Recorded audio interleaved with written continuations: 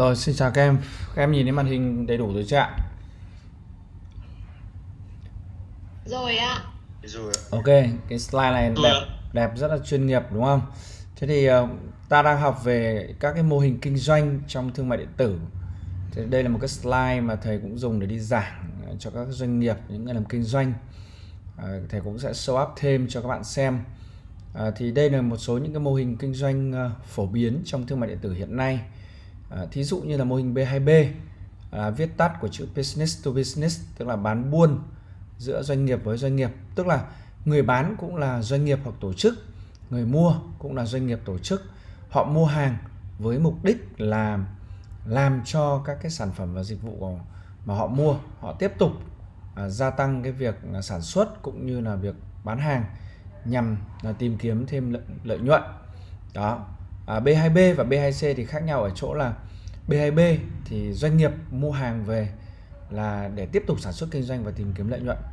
Còn B2C là business to consumer tức là doanh nghiệp bán hàng cho người tiêu dùng hay còn gọi là khách hàng.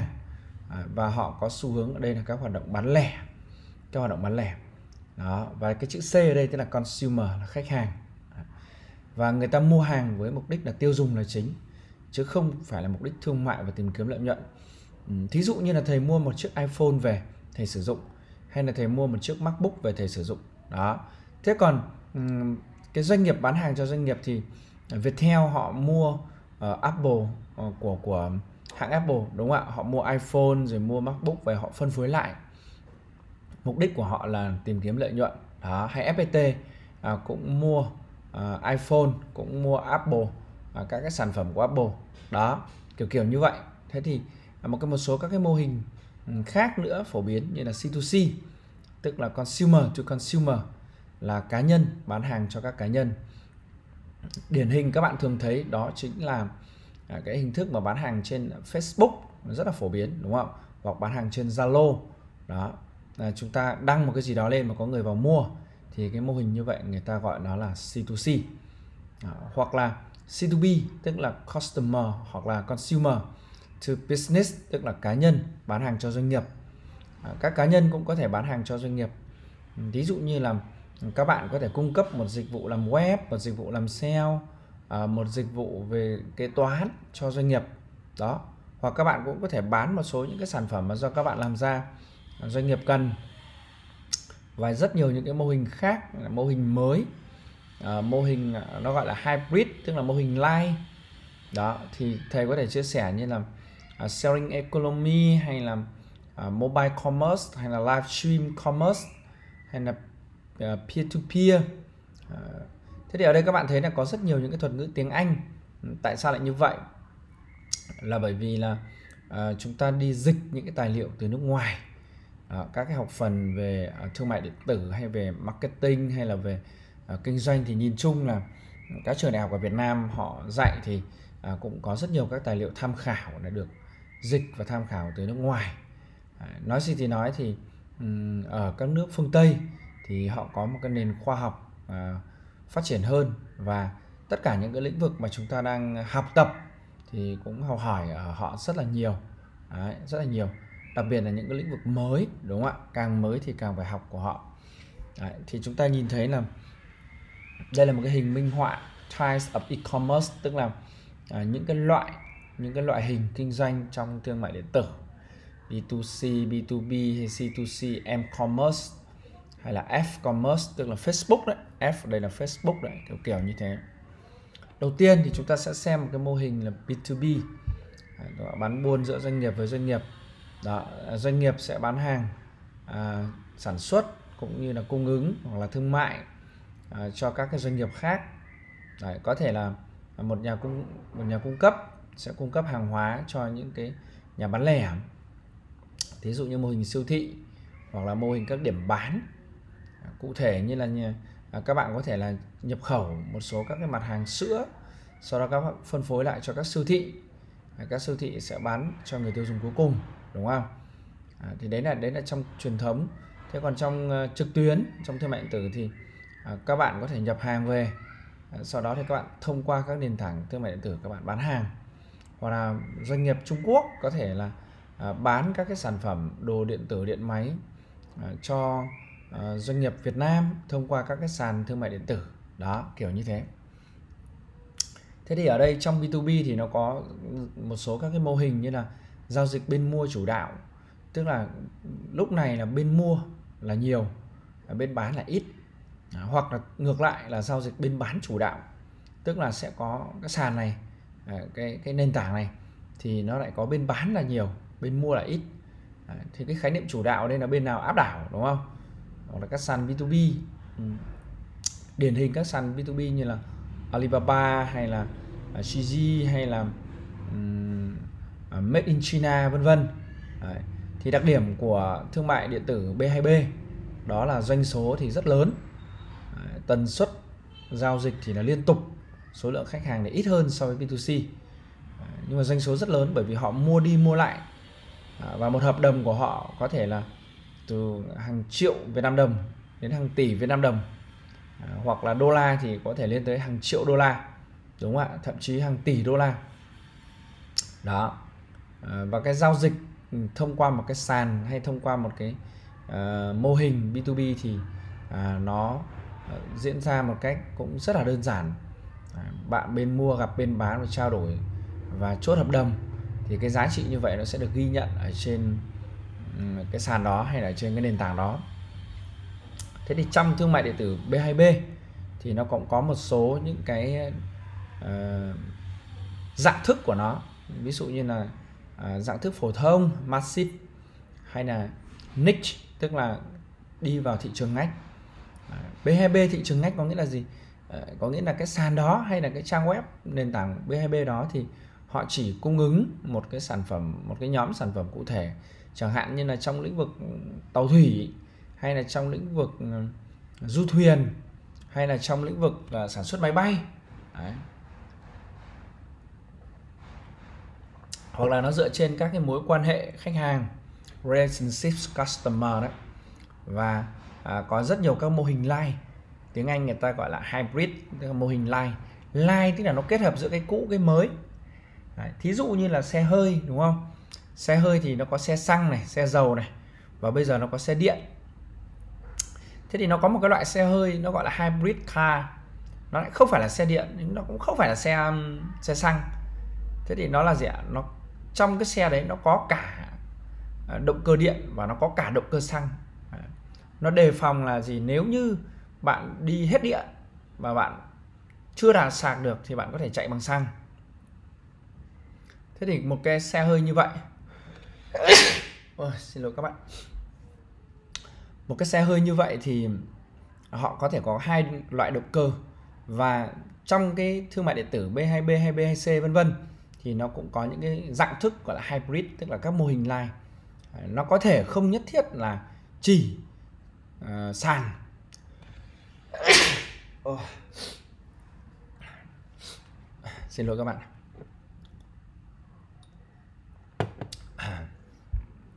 Bình thường thì cũng có những cái là nó chỉ bên mua chủ đạo cũng có những cái là bên bán chủ đạo nhưng mà cũng có những cái thì nó cứ lộn tùng phèo đúng không ạ? Nó cho tất cả mọi thứ vào để làm gì? Để chúng ta có thể dễ dàng giao dịch và cũng như là họ sẽ kiếm được nhiều cái à, khoản phí hoa hồng hơn.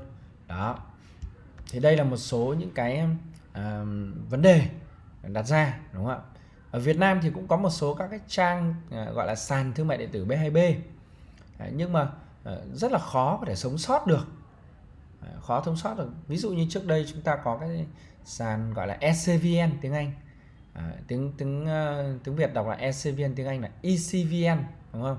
Là e-commerce Việt Nam viết tắt của bốn từ từ tiếng Anh đấy thế thì cái trang này bây giờ cái, cái, cái lượng truy cập rồi uh, cái cái năng lực của nó cũng rất là yếu. Uh, thế thì thầy muốn đặt ra một câu hỏi là uh, ờ, vì sao các cái sàn thương mại điện tử theo mô hình B2B của Việt Nam cũng rất là yếu? Đấy hoặc là uh, gần đây tí nữa ta cũng sẽ bàn về cái mô hình B2C thì các cái sàn thương mại điện tử B2C Việt Nam cũng rất là yếu. Và những cái sàn mạnh thì hầu như là nó lại thuộc uh, doanh nghiệp nước ngoài có bạn nào biết không ạ? Có bạn nào biết là vì sao các cái à, sàn thương mại điện tử theo mô hình B2B của Việt Nam này yếu? Có biết không ạ? Theo suy đoán của các bạn. Ờ, em thưa thầy là Theo suy đoán của em thì sàn B2B ở Việt Nam nó khá là yếu bởi vì chúng ta đa số là doanh nghiệp nhỏ và lẻ.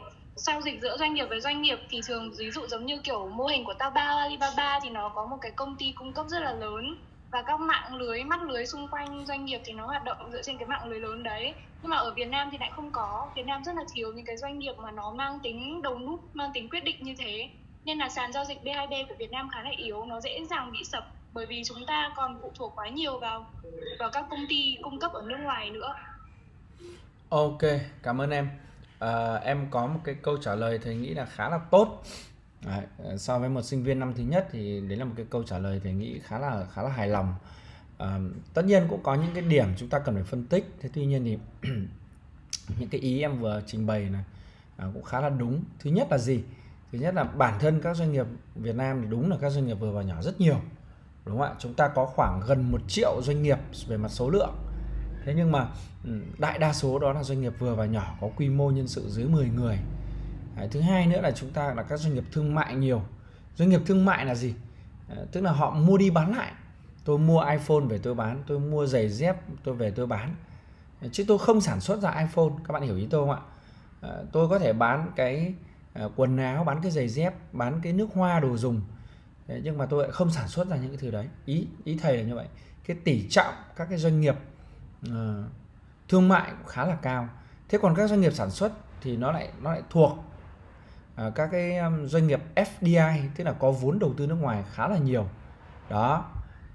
Cái B2B của Trung Quốc châu Âu hoặc Mỹ nó rất là mạnh, bởi vì thực sự là cái nền sản xuất của họ rất là mạnh, đúng không ạ? Các bạn thấy là Trung Quốc họ sản xuất rất là thông minh và rất là rẻ. Ờ, cái gì cũng có thể đáp ứng được. Cho nên là cái sức mạnh của cái hệ thống sản xuất nội bộ của họ rất là tốt. Thì họ mới duy trì được cái mô hình sàn như này và tiên phong nó chính là Alibaba, đúng không ạ? Tiên phong. Và sau này thì có nhiều cái sàn khác nữa. Thì nó dựa trên cái nội tại của nền kinh tế. Thế thì một quốc gia khác cũng khó có thể làm được cái sàn B2B này nó hiệu quả, trừ khi cái quốc gia đấy nó có cái nền sản xuất tốt và có cái quy mô thị trường là lớn. Đó, thì cái ý mà em nói rất là chính xác và thầy khá là hài lòng với cái câu trả lời như vậy. Thì các bạn nhìn thấy là hiện nay thì khách hàng B2B thì cũng mua online rất là nhiều và thông qua các cái à, phần mềm thông qua các hệ thống hoặc là à, các cái chương trình à, của à, các cái bên bán hoặc bên mua họ phát triển. À, mà chúng ta hay gọi bây giờ là chuyển đổi số ấy. và à, khách hàng B2B cũng sử dụng các công cụ tìm kiếm rất nhiều. Tìm kiếm hoặc là sử dụng các cái marketing đa nền tảng. Thì chúng ta có thể nhìn thấy ở đây là nhìn thấy là họ có cái tỷ trọng là họ đã tăng lên mua online à, từ 30% lên đến 56% à, nhiều hơn đúng không? À, thì chúng ta có thể làm gì để tận dụng cái à, mô hình kinh doanh B2B này? À, thì đối với các doanh nghiệp Việt Nam thì chúng ta có thể là bán hàng trên một hoặc là nhiều sàn à, thương mại điện tử trong nước và cũng có thể bán trên nhiều sàn à, quốc tế đúng không ạ nhiều sàn quốc tế trong đó có Trung Quốc có châu Âu có Nhật Bản có Mỹ vân vân. Những cái quốc gia mà chúng ta có thể tìm kiếm khách hàng. Đấy. À, chúng ta nên hiện diện trên internet à, đa ngôn ngữ. Đấy. ý thầy là chúng ta cần phải có những cái website hoặc có những cái tài khoản à, trên các sàn này bằng ít nhất là bằng ngôn ngữ tiếng Anh hoặc là làm được thêm các ngôn ngữ như là à, tiếng Nhật tiếng Trung tiếng Hàn tiếng Đức thì càng tốt đúng không ạ? Để chúng ta đánh giá được cái hiệu suất của nó và chúng ta cũng tiếp cận được các cái thị trường uh, khác nữa. À, chúng ta cũng có thể tối ưu công nghệ mobile và có cái nhiều tính năng liên hệ hoặc là email marketing. À, đối với người ờ, nước ngoài thì họ sử dụng email marketing rất là nhiều. Chúng ta có thể gửi email marketing chào hàng đúng không? À, hoặc là ở Việt Nam thì chúng ta có thể sử dụng những cái à, dịch vụ như là những trang vàng hoặc là À, Google Search tìm kiếm vân vân ngoài ra thì chúng ta có thể sử dụng các mạng xã hội như là Facebook uh, LinkedIn YouTube hoặc là uh, một số những cái mạng xã hội khác để chúng ta có thể là tiếp cận khách hàng B2B đó ví dụ như chúng ta chạy quảng cáo Facebook tìm khách hàng ở thị trường châu Âu ờ, chúng ta chạy quảng cáo trên LinkedIn trên Twitter trên YouTube vân vân. Chứ không phải là chỉ chúng ta chỉ sử dụng Facebook cho việc bán lẻ nhé hoàn toàn chúng ta vẫn có thể tìm được các khách hàng B2B mà. À, tiếp tục. À, chúng ta cũng có thể tham gia các cái hội trợ à, quốc tế. Đây là đây là offline nhé đây là hình thức offline. Tham gia hội trợ quốc tế để mà tìm kiếm các nhà cung cấp hoặc các đối tác mua bán. Ở Việt Nam mình thì thỉnh thoảng cũng có hội trợ quốc tế triển lãm tại giảng võ rồi cung hữu nghị Việt Xô. À, thế tuy nhiên thì cái quy mô ở Việt Nam thì nó cũng khá là nhỏ. Thì trước đây thầy cũng đã được đi cái hội trợ của Trung Quốc. À, khá là nhiều hội trợ ví dụ như hội trợ của Bắc Kinh hay là hội trợ à, Canton vân vân. Hay là hội trợ Bắc Kinh Thượng Hải những hội trợ nó vô cùng lớn. Nó lớn mà các bạn không thể tưởng tượng ra được. Thậm chí các bạn có thể đi cả tuần mà vẫn không hết. Đấy, cái quy mô của nó khiếp khủng đến mức như vậy. Nó không phải là hàng nghìn doanh nghiệp tham gia đâu mà nó phải hàng vạn doanh nghiệp tham gia. Thế thì sau này hết dịch thì các bạn cũng có thể tham gia các cái hội trợ quốc tế như thế này ở Trung Quốc hoặc là ở một số nước mà các bạn à, muốn tìm đối tác nhà cung cấp hoặc là đối tác mua hàng. À, và trong bối cảnh đại dịch Covid thì các bạn cũng có thể à, tham gia hội trợ là online hoặc là à, chúng ta cũng có thể gửi các cái à, email marketing hay là mạng xã hội như tôi vừa nói. Đấy. Nhá ví dụ như là chạy quảng cáo search Google rồi thì chủ động liên hệ với họ thông qua các cái kênh YouTube hay là LinkedIn hay là các thứ. Ở Việt Nam thì chúng ta không sử dụng LinkedIn nhiều. Chúng ta không sử dụng LinkedIn nhiều nhưng mà ở nước ngoài thì các bạn có thể à, sử dụng LinkedIn rất nhiều và có thể có được những khách hàng à, tốt. Đấy, các bạn có thể có được những khách hàng tốt à, trong lĩnh vực B2B 2B Đấy. ok. Ngoài ra thì các bạn cũng có thể tạo dựng thị trường và tập khách hàng của mình à, tiếp cận các khách hàng một cách trực tiếp và có những đội ngũ nhân viên kinh doanh chuyên nghiệp. À, nếu như khách hàng là ở nước ngoài thì chúng ta à, cần phải có các cái sale à, giỏi ngoại ngữ à, và chúng ta cũng cần phải am hiểu các cái luật pháp quốc tế.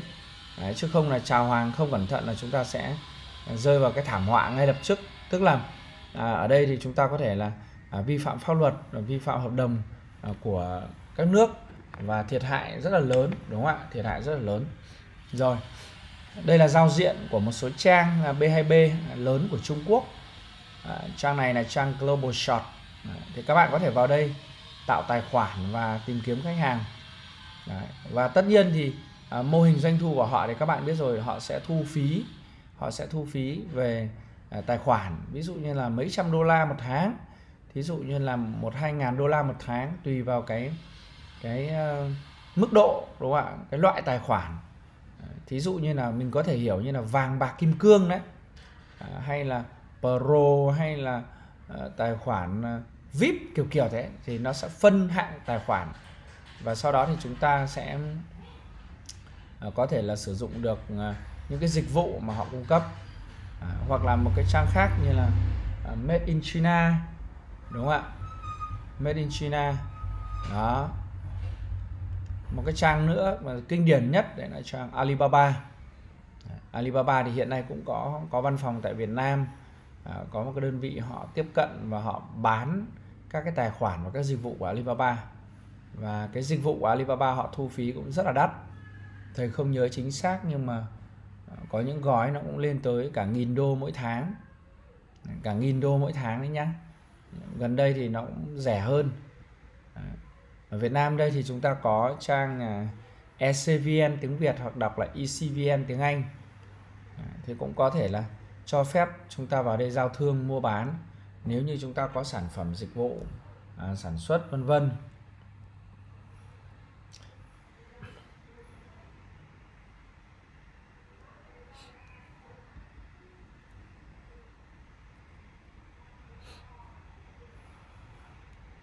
Tiếp tục là mô hình à, B2C à, tiếp tục là mô hình B2C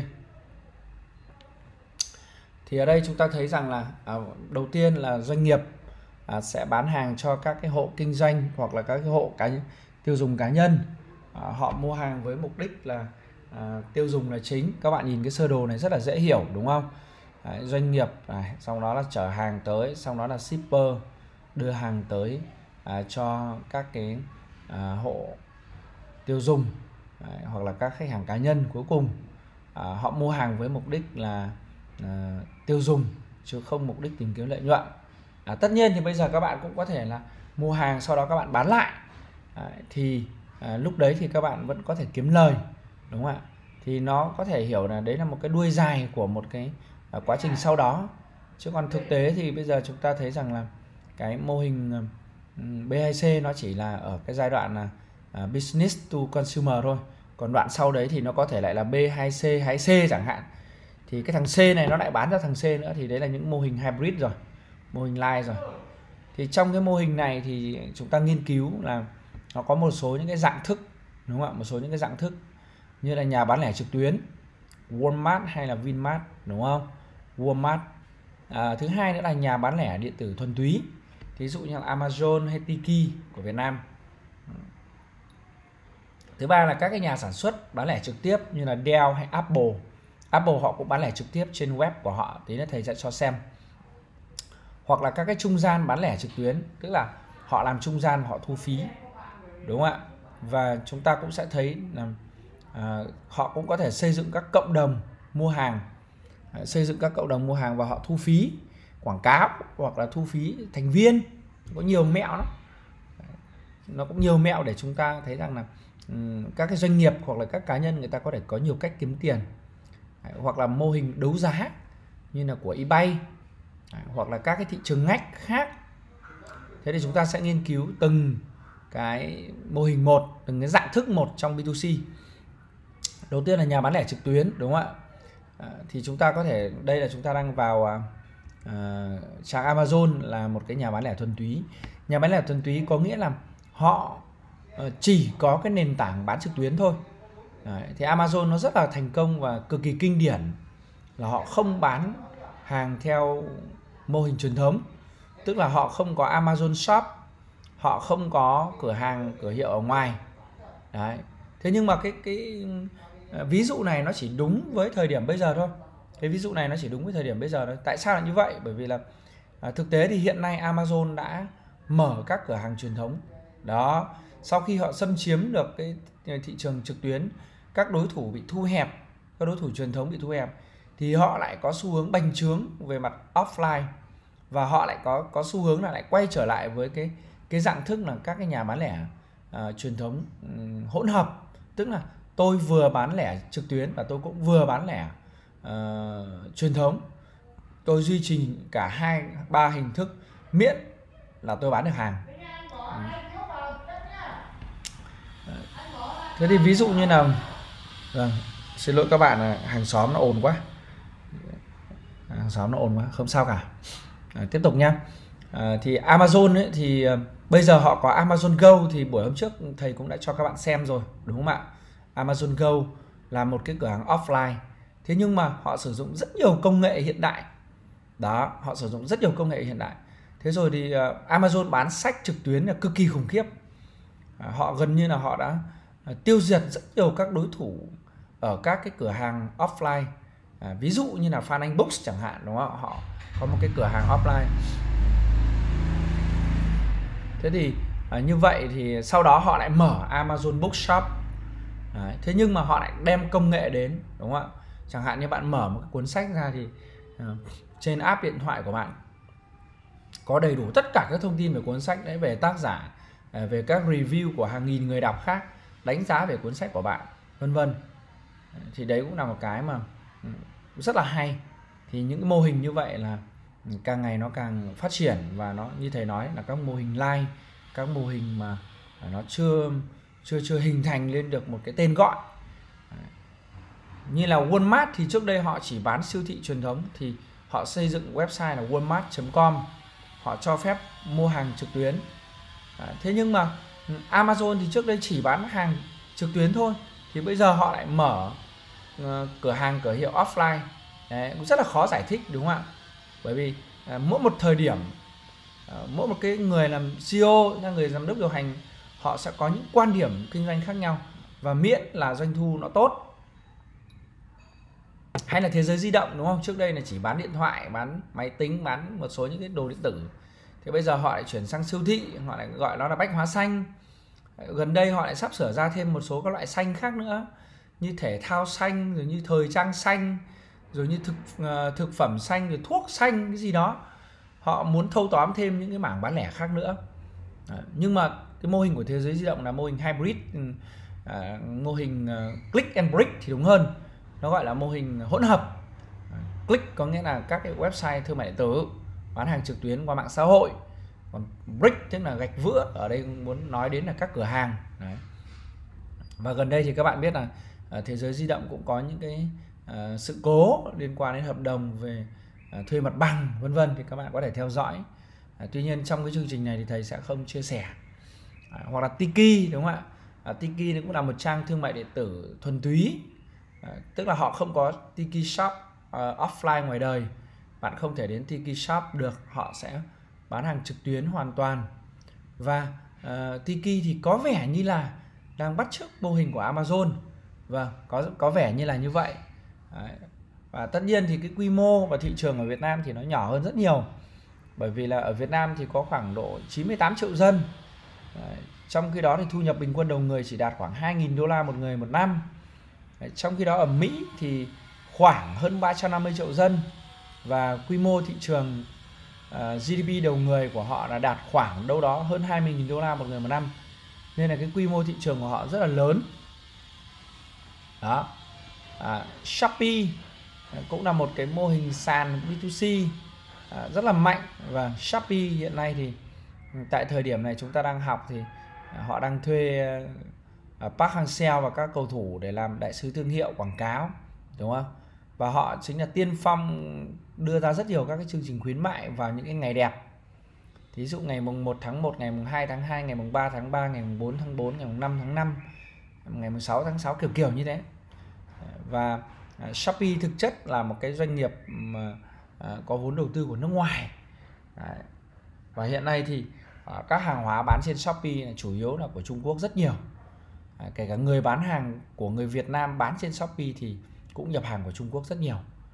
À, thì chúng ta cũng đặt ra một cái một cái câu hỏi đặt ra một cái vấn đề à, liệu rằng thông qua các cái trang thương mại điện tử như này nó là một cái cách để các cái doanh nghiệp nước ngoài à, các cái doanh nghiệp nước ngoài ví dụ như là à, Trung Quốc hoặc là những doanh nghiệp khác à, họ thâu tóm họ xâm chiếm à, thị trường Việt Nam à, một cách rất là công khai đúng không? Em thưa thầy. Ơi. À, em có một cái câu hỏi như thế này ạ. À. Ừ. Tại vì em thấy ở Việt Nam cũng có những cái nhà sản xuất chuyên dụng những cái mặt hàng ví dụ như kiểu bán ở trên Shopee, quần áo các kiểu. Ừ.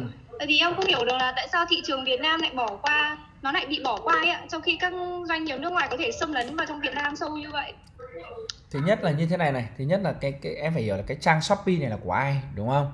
À, thí dụ thí dụ đây thầy nói là trang Shopee này là của người Việt tất nhiên là của người Việt hay là người Trung Quốc hay là ờ, người ờ, Đài Loan hay là người ờ, Singapore hay là người Nhật đi thầy không biết, đúng không? Thì, nhưng mà chắc chắn rằng là nếu như cái người chủ, họ là chủ của một cái quốc gia nào đó, thì họ sẽ, thứ nhất là họ cũng sẽ theo đuổi mục tiêu lợi nhuận. Đầu tiên là phải mục tiêu lợi nhuận. Ông Việt Nam hay ông Trung Quốc hay ông Lào thì cũng thế, ok. Nhưng ví dụ như ông Việt Nam, tôi tôi là chủ, ông Phan Anh là ông ông là người Việt, ông là chủ của cái trang Shopee, đúng không ạ? Chúng ta ví dụ thế thì rõ ràng là ờ, trong cái chiến lược kinh doanh của ông sẽ, ông có xu hướng là sẽ ưu tiên ờ, cho người Việt Nam lên ờ, ưu tiên cho các doanh nghiệp Việt Nam lên. Cái đấy thì chúng ta có thể thấy là dễ dàng, đúng không ạ? Hoặc là luật pháp cũng ưu tiên cái việc đó. Đó, thế nhưng mà bây giờ ví dụ như trang Shopee thì họ là chủ của họ là một doanh nghiệp Trung Quốc. Cái này là hoàn toàn chính xác thế thì rõ ràng là trong cái chiến lược kinh doanh của họ dù họ có nói ra hay không nói ra thì chúng ta có thể phán đoán hoặc chúng ta có thể cảm nhận được rằng là à, cái xu hướng của họ là họ sẽ ưu tiên à, cho các doanh nghiệp ưu tiên cho các hàng hóa của Trung Quốc. Đó tất nhiên họ vẫn sẽ công bằng họ vẫn sẽ ưu tiên cho cả Việt Nam nữa họ vẫn ưu tiên cho cả các doanh, doanh nghiệp Việt Nam nữa. Ok đấy là điểm thứ hai. Điểm thứ ba bạn nói là cũng có Việt Nam cũng có những cái doanh nghiệp họ sản xuất và bán được lên trên này thế thì chúng ta lại quay lại với cái, cái, cái câu chuyện lúc trước là tại sao B2B chúng ta không phát triển được? Thì nó lại trả lời cho cái câu hỏi này của bạn đó là gì? Ừ. thực chất là chúng ta vẫn sản xuất được nhưng mà chi phí sản xuất của chúng ta rất là đắt. Đấy, và đắt như vậy khi mà chúng ta lên đây bán thì mọi người là có xu hướng là tìm những cái sản phẩm rẻ đúng không? Shopee slogan của nó là cái gì cũng rẻ. Thế thì bây giờ thầy thầy nói ví dụ thôi thầy nói ví dụ thôi đúng không? À, em mua một cái áo thun như thầy đang mặc. À, em mua một cái áo thun như này mô tả chất liệu rồi kiểu dáng rồi hãng nọ hãng kia. Thế thì ừ, của một cái doanh nghiệp Việt Nam họ sẽ bán được khoảng 400 ngàn. À, thầy nói ví dụ như vậy. Thế nhưng mà cũng vẫn một cái áo trông như vậy. Chất liệu thì cũng tương tự. Đấy. của một cái thương hiệu của Trung Quốc họ bán khoảng độ ừ, trăm tám hai trăm. Thế thì em sẽ mua hàng của ai? Chắc chắn là em sẽ mua hàng của của cái thương hiệu Trung Quốc đúng không? Đấy. Vì nó rẻ hơn nó đẹp hơn đấy, mình có nhiều cái bất lợi em ạ. Ờ, thực tế thì ờ, hôm trước thầy có đọc một cái báo cáo thì được biết rằng là số lượng hàng hóa bán trên Shopee khoảng 75% là hàng Trung Quốc. Nhá đây là con số mà thầy ước tính khoảng thầy không nhớ con số chính xác.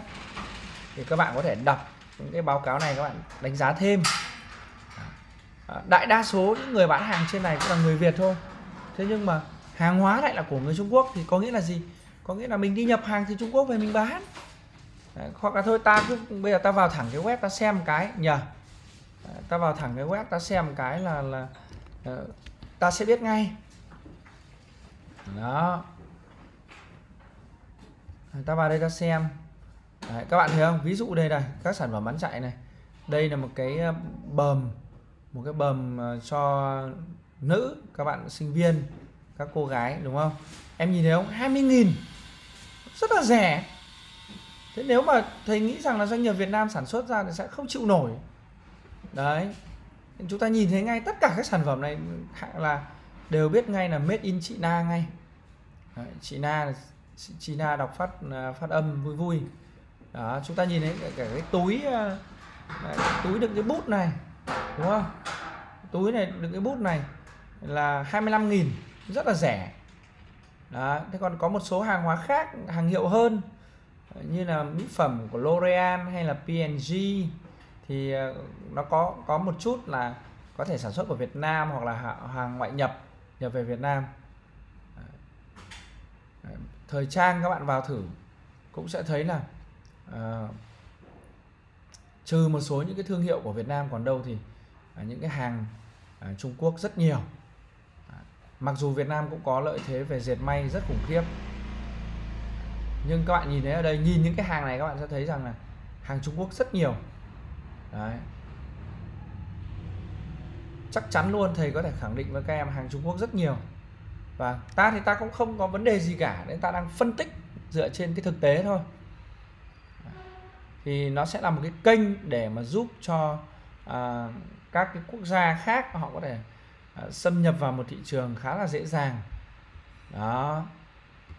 Doanh nghiệp hoặc chính phủ có thể sử dụng một cái sàn thương mại điện tử để đầu tư sau đó là kéo theo những cái hàng hóa để à, tấn công vào một thị trường. Đây cũng là một cách mà chiến lược thầy nghĩ khá là khôn ngoan. Thì ba cái lời giải thích đến để giải thích cho em là tại sao mà à, trên Shopee này, nó lại hàng Trung Quốc lại bán chạy như vậy có thể thứ nhất là là một cái lý do đấy là Shopee là thuộc à, một cái tập đoàn à, của Trung Quốc sở hữu. À, thứ hai là các hàng hóa trên này bán rất là rẻ mà rẻ thì phải là hàng Trung Quốc để nói rẻ.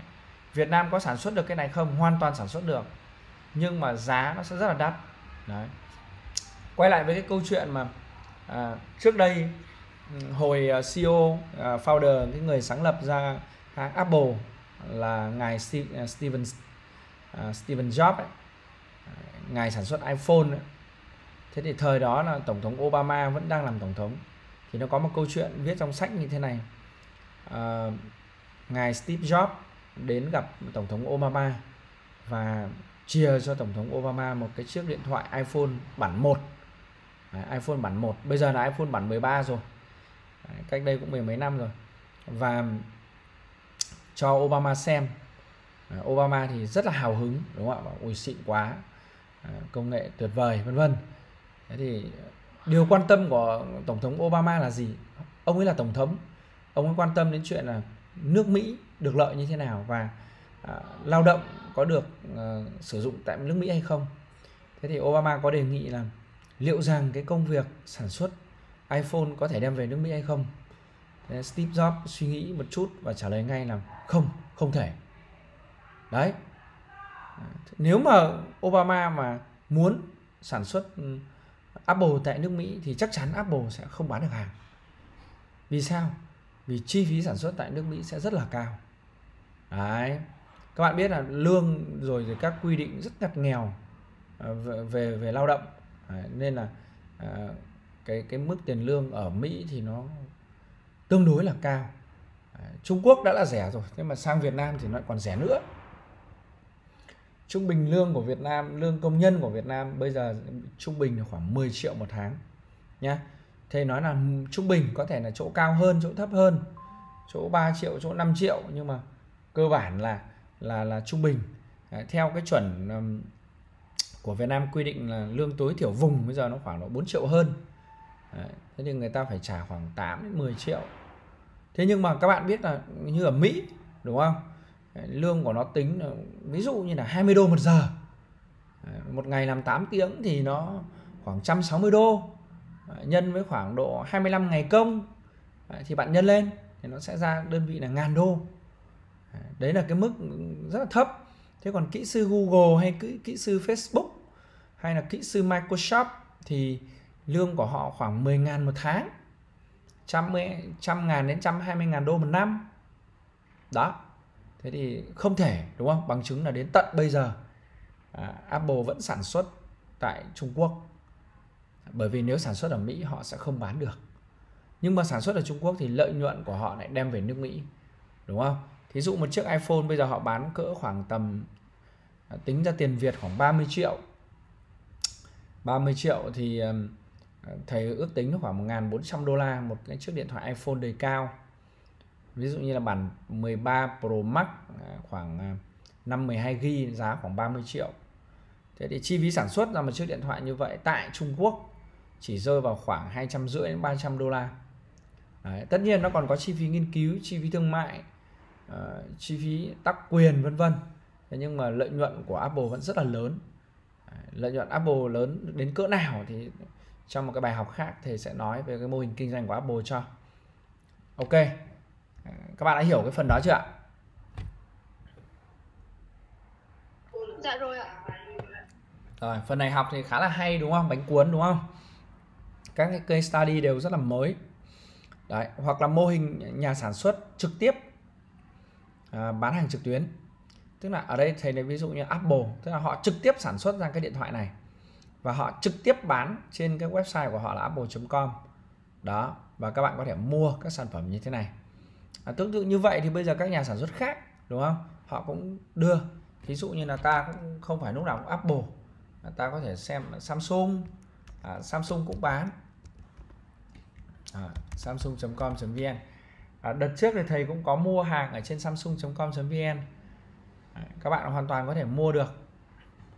À, ví dụ đây à, Galaxy Z Fold 3 này cái điện thoại gấp à, gấp ngang gấp dọc.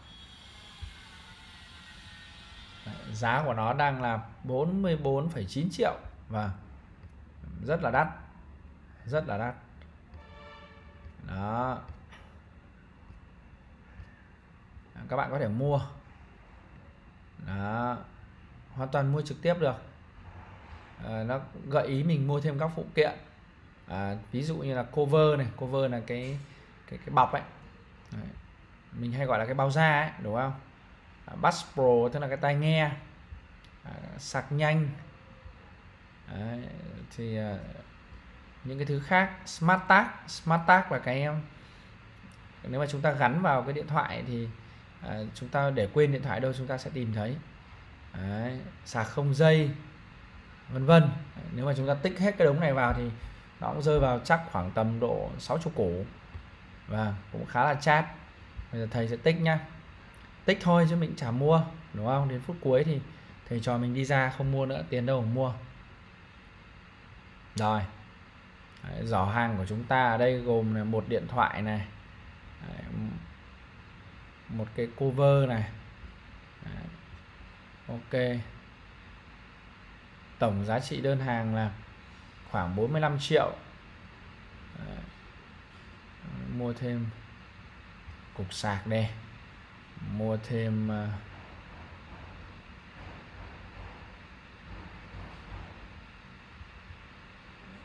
có 500 ngàn thôi. Tiếp tục. Đấy bây giờ là phải đăng nhập vào tài khoản để mua. Đấy, đăng nhập vào tài khoản mua. Thì cái phương thức như thế này ờ, nó gọi là nó gọi là bán hàng trực tiếp từ nhà sản xuất. Bởi vì Samsung là nhà sản xuất mà. Bây giờ các nhà sản xuất thông qua các cái đơn vị phân phối nhưng mà họ cũng uh, trực tiếp mà bán hàng. Chẳng tội gì mà không bán cả. Ờ, bán thì mới có tiền chứ đúng không?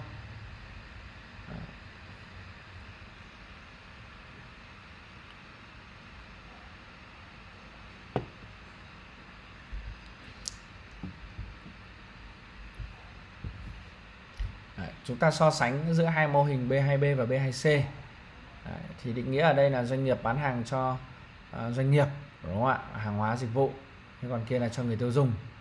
À, đối tượng khách hàng là khác, khác nhau là à, chữ B và chữ C doanh nghiệp và người tiêu dùng cuối cùng. Đối tượng ở đây là B2B thì ở đây chính là tập trung vào mối quan hệ duy trì mối quan hệ và lợi ích lâu dài. Thế còn B2C thì nó sẽ liên quan đến sản phẩm và dịch vụ. Số lượng hàng hóa mua thì B2B tất nhiên là họ mua lớn rồi đúng không? Ví dụ như là Viettel, họ nhập hàng của Apple thì ờ, họ phải nhập khoảng độ 10.000 máy iPhone về họ bán. Mà 10.000 máy iPhone thì nhiều tiền lắm, nó lên tới cả ngàn tỷ cơ. Không phải là nhỏ, hàng chục triệu đô la, đúng không? Còn B2C thì mình mua một cái máy thôi 30 triệu 50 triệu, đó. Các mối quan hệ trong B2B thì gồm có là nhà cung cấp, nhà sản xuất nhà sản xuất với nhà bán buôn, nhà bán buôn với nhà bán lẻ rất nhiều mối quan hệ trong cái, cái quy trình của họ thế còn B2C thì chỉ có nhà bán lẻ với người tiêu dùng thôi Đấy, à, chu kỳ mua chu kỳ mua bán thì ở đây nó rất là dài lâu đúng không ạ và à, thường xuyên liên tục Đấy. À, thí dụ như là Apple họ sản xuất điện thoại iPhone rồi máy tính tại nhà sản xuất Foxconn của Trung Quốc Đấy. họ sản xuất rất là nhiều và mối quan hệ của họ hợp tác với cả chục năm nay rồi. Đấy. còn à, lý do ra quyết định mua, đúng không? Thì B2B ở đây là được à, dựa trên kế hoạch mua, rồi đàm phán về à, giá cả, rồi thì về hợp đồng, thanh toán công nợ, giao hàng rất phức tạp. Còn B2C thì đơn giản là có thể là do nhu cầu, do thu nhập, do mong muốn, do cảm xúc. Bây giờ thầy đang thích cái iPhone 13 thì thầy quất luôn. Chả có cái lý do chó gì. Kiểu như thế.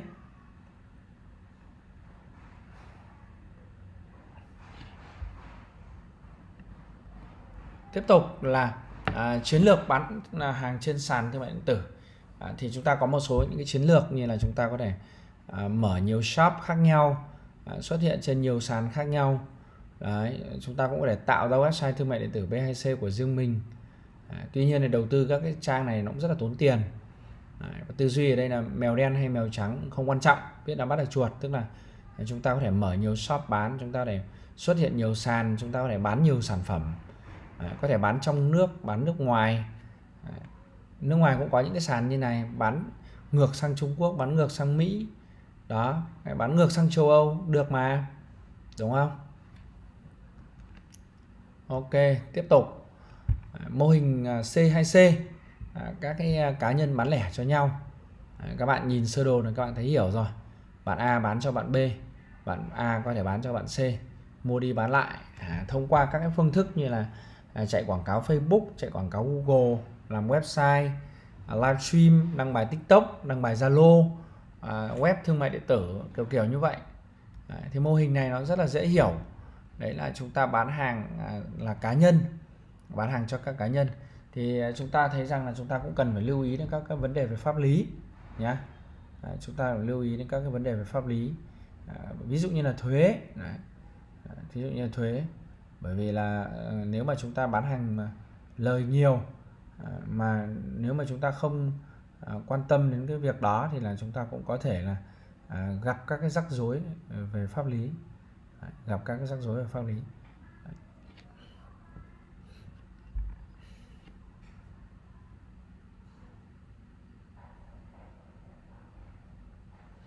Ở đây chúng ta thấy rằng là có các cái trang web mà giao vặt à, có các cái trang web giao vặt à, hoặc là những cái người bán hàng trên các nền tảng mạng xã hội à, các trang thương mại điện tử hoặc là à, phát triển mô hình cộng tác viên à, kiểu kiểu như thế.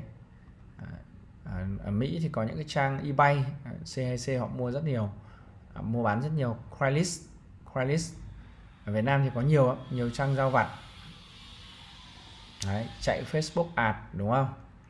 Tất nhiên là cũng có cả B2B thì người ta cũng chạy B2C người ta cũng chạy và cả C2C người ta cũng chạy nhưng mà à, C2C thì khá là phổ biến. À, tiếp tục à, C2B tức là cá nhân để bán hàng cho các doanh nghiệp à, hoặc là cung cấp các sản phẩm và dịch vụ cho doanh nghiệp. Thí dụ như bạn có thể cung cấp dịch vụ kế toán bạn có thể cung cấp dịch vụ phần mềm kho hàng bạn có thể cung cấp dịch vụ phần mềm bán hàng hoặc là thầy có thể cung cấp dịch vụ đào tạo tư vấn kiểu kiểu như thế à, những cái mô hình khác à, ít phổ biến hơn. Và trong sách à, hiện nay thì ít giới thiệu nhưng mà à, chúng ta có thể cập nhật. Đó là các mô hình như là dropshipping đúng không? drop tức là đánh rơi bỏ qua.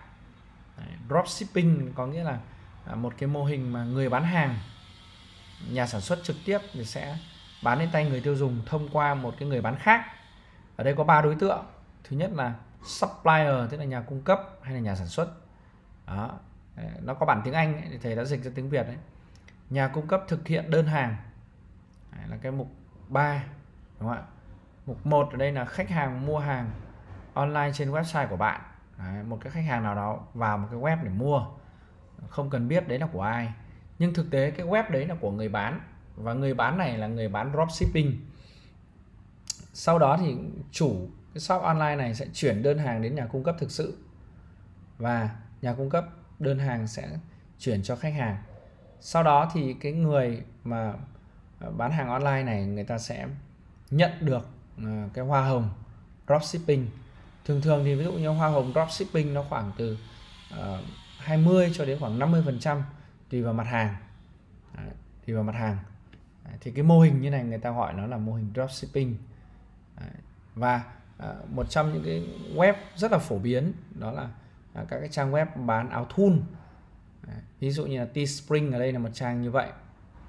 Commerce uh, not complicated nó, nó nói rằng là uh, bán hàng uh, không phức tạp đâu.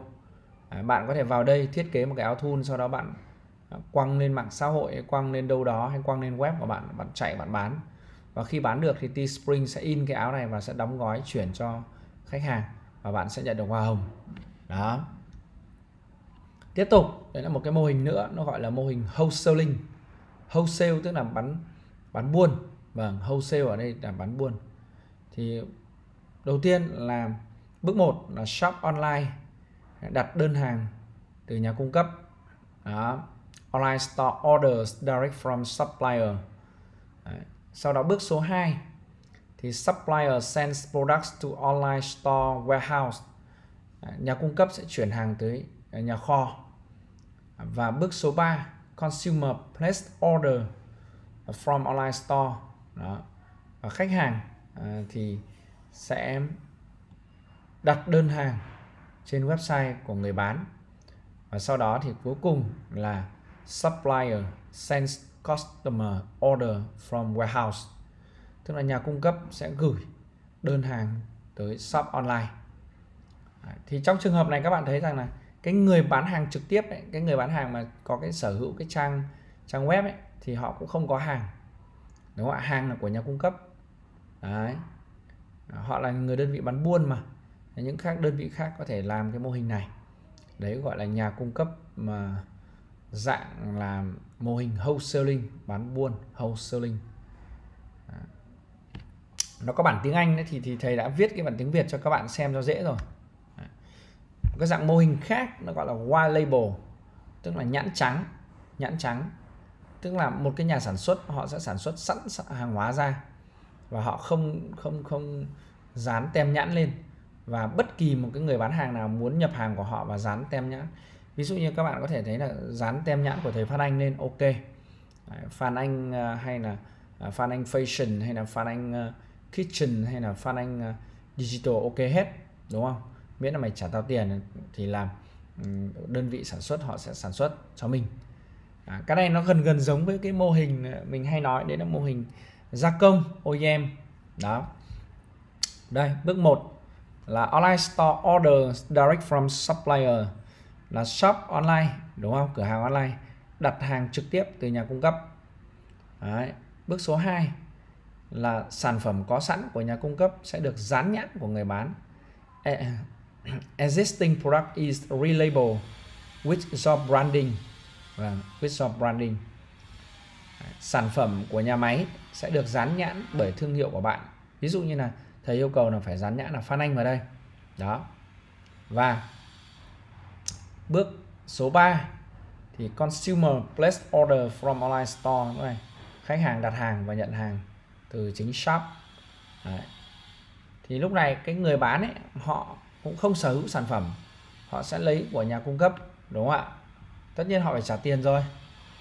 À, hoặc là mô hình nữa những cái mô hình như subscription. Subscription là mô hình thuê bao.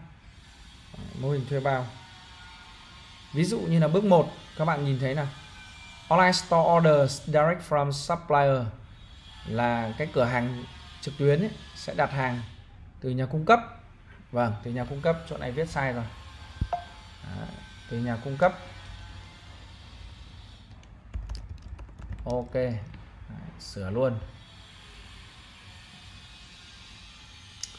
Đây subsequent orders are automatically binned and shipped to consumer.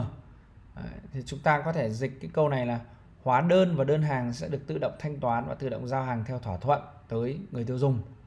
Đấy, tới người tiêu dùng tới cái cô này và bước số 2 là consumer place order from the online store. Khách hàng sẽ đặt đơn hàng trên cái trang web mua hàng trực tuyến đó. Subscription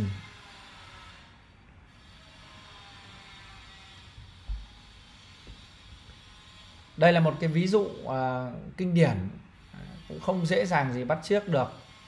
Uh, New Zealand các bạn nhìn thấy một cái trang là nz uh,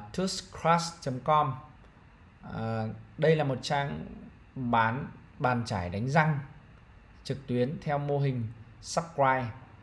Tức là bạn sẽ vào đây trả tiền à, và hàng tháng hoặc là 3 tháng một lần họ sẽ ship cho bạn một số các bàn chải đánh răng hữu cơ tới.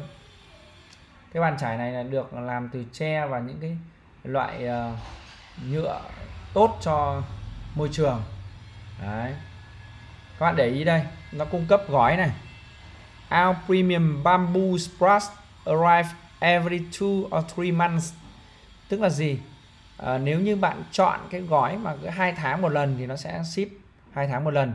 Bạn chọn gói 3 tháng một lần thì 3 tháng một lần nó sẽ ship à, cho bạn à, một một vài cái cái cái bàn chải, có thể bạn mua ba cái năm cái cho cả gia đình. Đấy, miễn phí giao hàng ở bất kỳ nơi đâu à, trên New Zealand. Free delivery anywhere in New Zealand và hãy subscribe. Khá là thú vị đúng không ạ? Khá là thú vị. Bán bàn chải đánh răng dạng subscribe. À, ở Việt Nam thì phổ biến nhất của subscribe là những mô hình gì? À, ví dụ như là phổ biến ở cái mô hình à, là bạn sẽ thấy phổ biến nhất là như là thuê bao điện thoại. À, là chúng ta phải sử dụng subscribe đấy. Nhưng mà chắc, chắc là các bạn chưa bao giờ nghĩ đến bàn chải đánh răng có thể bán theo mô hình subscribe dao cạo dâu cũng bán theo mô hình subscribe đây là trang Dollar Safe Club. Đấy, viết tắt là DSC Dollar Safe Club. Đấy. Họ chuyên bán dao cạo râu rồi thì một số những cái uh, mỹ phẩm dành cho nam giới liên quan đến râu và da. Thí dụ như là uh, kem cạo râu này ở Việt Nam thì thì nam giới Việt Nam thì ít dùng kem cạo râu bởi vì là à, người Việt mình là cái cái phần râu ấy, nó phát triển không mạnh. Nó phát triển không mạnh cho nên là à, chỉ cần dao cạo không thôi là đã ok rồi, không không cần đến kem. Thế nhưng các bạn thấy là người tây đúng không? Thì à, cái cái cái phần dâu của họ phát triển rất là là là vùng cái vùng mà nó có dâu nó rất là rộng. Và thứ hai là dâu của họ thì mọc rất là nhanh và dài, cứng thì họ sẽ phải sử dụng những cái loại dao xịn rồi phải sử dụng thêm cả à, à, kem cạo cho nó đỡ rát mặt nó sạch sẽ thơm tho kiểu kiểu đấy. Thế thì hãng này Dollar Shape Club này họ đã cũng đưa ra cái gói mô hình subscribe là bạn có thể mua. Đấy là vừa dao cạo rồi thì vừa uh, kem cạo rồi thì sữa rửa mặt sữa tắm dầu gội kiểu kiểu đấy. Cũng khá là hay một số các cái mô hình như là OEM tức là gia công này ODM tức là thiết kế này và OBM tức là sở hữu thương hiệu riêng. Đấy. Đây là một cái mô hình mà à, các bạn thấy là nó phát triển rất là cao. Đấy là cuối cao nhất đấy là mô hình OCM à, là khách hàng có thương hiệu có thị trường và có thương hiệu riêng. À, một cái mô hình nữa thầy muốn giới thiệu nó cũng không xa lạ với các bạn đấy là mô hình sharing economy tức là tạm dịch ra là nền kinh tế chia sẻ và các bạn thường nghe đến những cái tên như là Uber, Grab đúng không ạ? À, Airbnb và sau này thì có thể có nhiều cái thương hiệu khác nữa. À, thì cái mô hình này nó như thế nào? Đây, đầu tiên là owner, tức là người sở hữu. Ví dụ tôi sở hữu cái xe máy đấy, tôi tham gia vào Grab và tôi sở hữu cái xe máy đấy. Sau đó thì sản phẩm dịch vụ có thể chia sẻ ở đây chính là dịch vụ mà tôi sẽ chở người là bằng trên cái xe máy gọi là xe ôm đấy, xe ôm công nghệ. Khách hàng là người gọi xe đúng không ạ? Shaker ở đây người ta gọi là shaker là người tìm kiếm. Họ sẽ tìm những cái người mà cung cấp dịch vụ đấy cho mình trên cái app Grab. Trên cái app Grab. Hoặc là ờ, Grab Bike, Grab Car ờ, hoặc là B đúng không? ạ? Con ong ấy B à, rồi thì à, bây giờ thì có cả Bamin à, dịch vụ ship thức ăn à, sticker tức là khách hàng sẽ gửi các yêu cầu. À, gửi yêu cầu là tôi muốn à, đi từ à, à, trường đại học thương mại đến à, nhà tôi đúng không? Nhà tôi ở khu vực cầu giấy hoặc là nhà tôi ở khu vực à, à, ba đình ok. À, các bạn đi học các bạn có thể gọi grab như vậy. Đó. Gọi trên platform platform tức là cái cái nền tảng như là grab thế sau đó platform sẽ đồng ý và bắn cái cái dữ liệu này cho các cái owner tức là các cái người lái xe đúng không? Và có hàng trăm người đang ngồi đấy đợi để gọi là nổ cuốc. Các bạn ấy hay gọi là nổ cuốc tức là tinh cái ờ, điện thoại báo có cuốc nhận không bấm nhận phát là xong người khác sẽ không nhận được cái đơn này nữa. Và sau cái người mà sở hữu cái cái xe máy này sẽ chạy đến chỗ uh, của cái sticker khách hàng này. À, có phải em đang đứng ở cổng trường thương mại không? Đúng rồi đúng rồi. Đó thế là ok. Thế là lên xe trở về. Trở về xong thì kết thúc quốc tinh cái thì lúc này tiền bạn sẽ bị trừ và à, platform sẽ nhận được tiền. Sau đó thì platform sẽ giữ lại cái hoa hồng và sẽ trả 80 85 phần trăm thậm chí 90 phần trăm của cái quốc đó cho cái người sở hữu cái người mà gọi xe. Ok thì tương tự như thế xe máy hay ô tô hay là uh, tàu thủy hay tàu hỏa hay ngôi nhà hay là ừ, trường học hay là dụng cụ học tập chúng ta có thể cho thuê được hết. Nó hình thành nên một thị trường cho thuê mà cho thuê được hết. Thí dụ bây giờ thầy có nhà thì không dùng thì thầy cho thuê. À, thầy có um, máy nông cụ không dùng cho thuê. Thầy có đồ thể thao không dùng thầy cho thuê. Thí dụ như thầy mua mua mua một cái bộ đánh golf mất có thể lên tới trăm triệu. Nhưng mà chả mấy khi thầy dùng thì thầy cũng có thể tham gia và cho thuê. Nhưng mà miễn là thị trường nó phải có có có người mua có người bán phải có platform. Đấy. Thì ở đây các bạn nhìn thấy là ví dụ như là website Airbnb. Đấy, Airbnb thì à, cái tên nghe Airbnb nó nó nó thấy hơi khó hiểu nhá. Nhưng mà uh, bọn Tây nó cũng chơi từ ghép. E có nghĩa là không khí đấy, B B này một chữ B đầu tiên có nghĩa là bed là cái giường. N tức là N là là là, là và chữ B là breakfast tức là à, nó kinh doanh một cái dịch vụ là gồm có không khí cái giường và bữa sáng thì chính là dịch vụ à, lưu trú. Đấy. nó nghĩ ra một cái tên là Airbnb. Và nó chia sẻ chỗ ở. Thí dụ như là ừ, thầy đi Mỹ đúng không? Thì thầy sẽ lên Airbnb này thầy thuê những căn hộ ở bên đó. À, và trả tiền cho Airbnb. Sau đó thì Airbnb sẽ trả tiền cho chủ căn hộ. Chuyên nghiệp lắm. Thầy ở bên Mỹ cũng khoảng à, 20 ngày hầu như là toàn thuê trên Airbnb rất nhiều. Và gần như không có trục trặc gì. Các căn hộ à, tùy vào giá tiền thôi. Nếu mà mình thuê những căn hộ đắt tiền thì nó đẹp lắm. Đẹp đẹp khủng khiếp luôn đấy đẹp phải nói là ngỡ ngàng rất là đẹp bởi vì nó nó có những cái đơn vị họ xây những cái căn hộ như này họ cho thuê chuyên nghiệp trên Airbnb. Rồi thì mô hình ờ, quảng cáo đúng không? À, doanh thu đến từ quảng cáo như là Google AdSense, YouTube AdSense hoặc là Google AdMob, uh, Facebook uh, AdBreak vân vân. Và tiếp tục đấy là một mô hình là affiliate. Đấy, còn gọi là hay còn gọi là tiếp thị liên kết đúng không? À, thì các bạn nhìn thấy đầu tiên là khách hàng customer đây. À, họ sẽ mua hàng. À, họ sẽ mua hàng thì người bán sẽ nhận được tiền. À, và người bán sẽ sẽ sẽ à, nhận được cái hoa hồng tiếp thị liên kết từ cái đơn vị tiếp thị liên kết. Cái đơn vị tiếp thị liên kết này thì lại nhận order nhận được cái yêu cầu của các cái người bán khác. Thế là nó là một mô hình trung gian. Đấy, thí dụ như Apple họ muốn bán iPhone họ sẵn sàng cho người bán tham gia affiliate. À, với một với một chiếc iPhone bán được đã được thưởng 5% à, thì có sẽ có những cái mạng lưới affiliate họ sẽ nhận. À, họ sẽ nhận. Thí dụ như là CG đúng không ạ? À, CJ là một cái mạng affiliate rất là lớn. À, hoặc là Clickbank cũng tương tự như vậy. Ở Việt Nam thì có Accenture vân vân. Đó. Hoặc là các bạn có thể sử dụng các mô hình order hàng chậm thì đây thực chất nó cũng là bán hàng C2C thôi. Thực chất nó cũng là bán hàng C2C thôi. Không không có gì đặc biệt cả. Và cuối cùng đấy là mô hình livestream e-commerce, tức là bán hàng. Thực chất của livestream e-commerce thì nó vẫn có thể là B2C hoặc là C2C nhưng mà nó sử dụng cái phương thức bán hàng bằng livestream và đặc biệt là ở Trung Quốc, nó phát triển cực kỳ mạnh. Phát triển cực kỳ mạnh. Đó. Ok thế thì à, chúng ta tạm dừng cái phần à, liên quan đến mô hình kinh doanh tại đây.